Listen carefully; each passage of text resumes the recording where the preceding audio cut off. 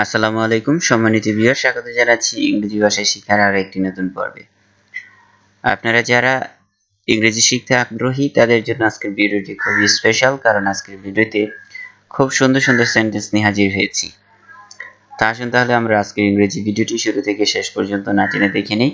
এবং যারা এখনও পর্যন্ত চ্যানেলটি সাবস্ক্রাইব না করেছি, তারা আজই চ্যানেলটি সাবস্ক্রাইব করে নিই লেটস গেট স্টার্ট আমাদের আজকের প্রথম যে বাক্যটি, সেটা হলো রিনার জন্য জায়গা রেখো।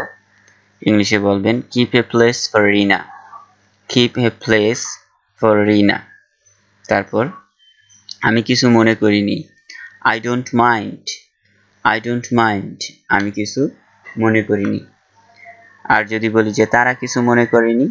ইংলিশে বলবেন দে ডোন্ট মাইন্ড তারা কিছু মনে করেনি। নেক্সট আগামীকাল আমার বয়স আঠারো হবে। ইংলিশে বলবেন I will be eighteen years old tomorrow I will be eighteen years old tomorrow আগামীকাল আমার বয়স আঠারো হবে।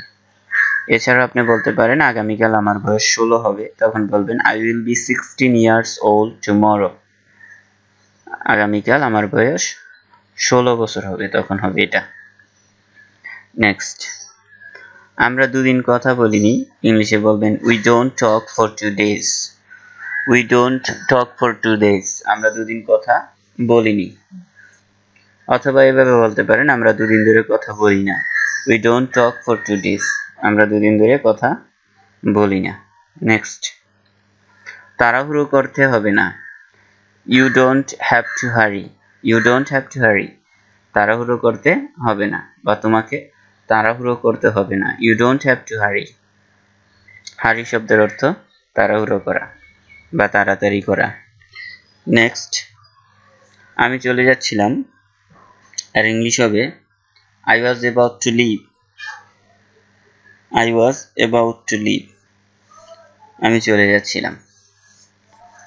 আমরা যদি বলি সে চলে যাচ্ছিল, হবে he was about to leave next সে কিছু মনে করেনি। ইংলিশে বলবেন he does not mind he does not mind সে কিছু মনে করেনি। তাহলে আমরা থার্ড পার্সনের সাথে ডাজ ব্যবহার করব আর ফার্স্ট পার্সন বা অনেকজন বুঝালে আমরা ব্যবহার করব ডোন্ট যেটা আমরা আগে শিখে আসছি। আই ডোন্ট মাইন্ড মানে আমি কিছু মনে করিনি। কিন্তু এখানে সে কিছু মনে করেনি কে? বলবেন he does not mind next আগামীকাল ফারুকের বয়স সাতাশ হবে। ইংলিশে বলবেন, Farooq will be seventy twenty seven years old tomorrow Farooq will be twenty seven years old tomorrow আগামীকাল ফারুকের বয়স সাতাশ হবে। নেক্সট তারা দুদিন কথা বলেনি।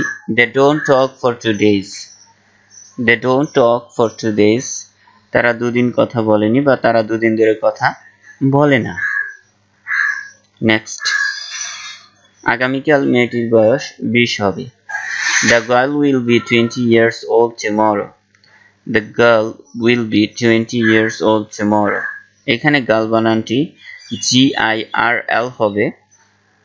টাইপিং মিস্টেক একটু সাবধানে বানানটি লিখবেন। নেক্সট আগামীকাল জুমার বয়স ষোলো হবে। আগামীকাল জুমার বয়স ষোলো হবে, ইংলিশে বলবেন। জুমা উইল বি টোয়েন্টি এখানে টোয়েন্টি জায়গা হবে sixteen years old tomorrow Juma will be sixteen years old tomorrow next সে চলে যাচ্ছিল, ইংলিশে বলবেন he was about to leave he was about to leave সে চলে যাচ্ছিল। আর যদি আমরা বলি যে লোকটি চলে যাচ্ছিল, তখন ইংলিশে বলবেন the man was about to leave তারা চলে যাচ্ছিল, তখন হবে they were about to leave দের সাথে ওয়ার বসে।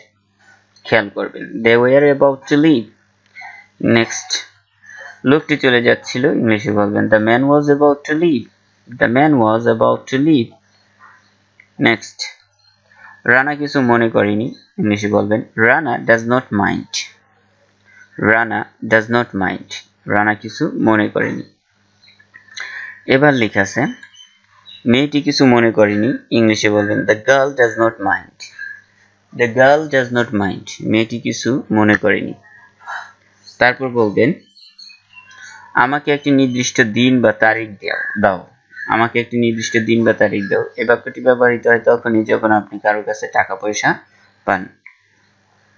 আপনি বারবার তাকে টাকার জন্য তাগাদা দিচ্ছেন, কিন্তু সে আপনার টাকা ফেরত দিচ্ছে না। তখন আপনি বলতে পারেন, আমাকে একটি নির্দিষ্ট দিন বা তারিখ দাও।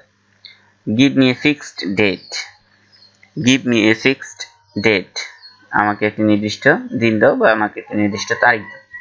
তারপর, তুমি কি আমার কথা শুনছো? Are you listening to me are you listening to me তুমি কি আমার কথা শুনছো? নেক্সট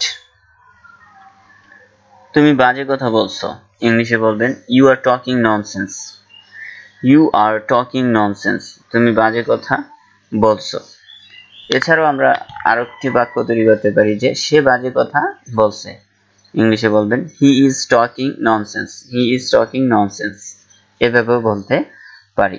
নেক্সট আমি কথাগুলো বলিনি, ইংলিশে বলবেন I didn't say the words I didn't say the words আমি কথাগুলো বলিনি। তারপর, এই সবজিগুলো স্বাস্থ্যের জন্য ভালো। ইংলিশে বলবেন this vegetables are good for health this vegetables are good for health এই সবজিগুলো স্বাস্থ্যের জন্য ভালো। তারপর, তাকে একটি নির্দিষ্ট দিন বা তারিখ দাও। Give him a fixed date give him a fixed date তাকে একটি নির্দিষ্ট দিন বা তারিখ দাও। এরপর লেখা আছে, আপনি কি তার কথা শুনছেন? ইংলিশে বলবেন are you listening to him are you listening to him আপনি কি তার কথা শুনছেন? এখানে আর একটু অন্যভাবে বলতে পারেন যে তারা কি তার কথা শুনছে? Are they listening to him are they listening to him তারা কি তার কথা শুনছেন? শুনছে। এভাবে আমরা নতুন বাক্য তৈরি করতে পারি। নেক্সট সে বাজে কথা বলছে। ইংলিশে বলবেন he is talking nonsense he is talking nonsense সে বাজে কথা বলছে। হি ইজ টকিং ননসেন্স তারপর লোকটি বাজে কথা বলছে। The man is talking nonsense the man is talking nonsense খুবই সুন্দর একটি সেন্টেন্স আপনারা প্রচুর পরিমাণে ব্যবহার করতে পারেন যদি একটু শিখে নেন। The man is talking nonsense লোকটি বাজে কথা বলছে। তারপর সে কথাগুলো বলেনি। ইংলিশে বলবেন he didn't say the words he didn't say the words সে কথাগুলো বলেনি। এবার লেখা আছে, ওকে, আমরা চলে আসলাম আমাদের আজকের পর্বের শেষের দিকে। সম্মানিত ভিউয়ার্স আমাদের পর্বটি যদি ভালো লাগে, অবশ্যই আমাদের চ্যানেলটি সাবস্ক্রাইব করে পাশে থাকা বেল বাটনটি বাজিয়ে দিন। আমরা প্রতিদিন, প্রায় প্রতিদিন নতুন নতুন ভিডিও দিয়ে যাচ্ছি। আমাদের পর্বগুলো আপনি যদি নিয়মিত দেখেন ইনশাল্লাহ কথা দিচ্ছি। আপনি ইংলিশে অনেক কিছুই জানতে পারবেন যা আগে কখনো অন্য কোথাও জানতে পারেননি। বিশেষ করে আমরা যে কথাগুলো ইংলিশে বলতে পারি না, সে কথাগুলোই আমি অনুবাদ করে দিই এবং একই সেন্টেন্স বিভিন্ন উপায়ে কীভাবে বলা যায় তা বিস্তারিত আলোচনা করি। মানে একটি সেন্টেন্সকে অনেকগুলো সেন্টেন্সে রূপান্তর করে দিই। এত করে আপনারা নতুন নতুন বাক্য তৈরি করতে উৎসাহিত হবেন। আরেকটি কথা, যারা ভিডিওটিতে এখনও পর্যন্ত লাইক দেন নাই, তারা একটি লাইক দিন কমেন্ট করে জানান আজকের পর্বটি কেমন হয়েছে। আর অবশ্যই আজকের ভিডিওর লিংক আপনার বন্ধুর সাথে শেয়ার করে দিবেন। আপনি ফেসবুকে শেয়ার করতে পারেন মেসেঞ্জারে শেয়ার করতে পারেন হোয়াটসঅ্যাপে শেয়ার শেয়ার করতে পারেন যে কোনো সামাজিক মাধ্যমে শেয়ার করে দেন। সম্মানিত ভিউয়ার্স দেখা হবে পরবর্তী পর্বে। আপনারা প্র্যাকটিস করতে থাকুন। সবাই ভালো থাকবেন সুস্থ থাকবেন। আল্লাহ হাফেজ।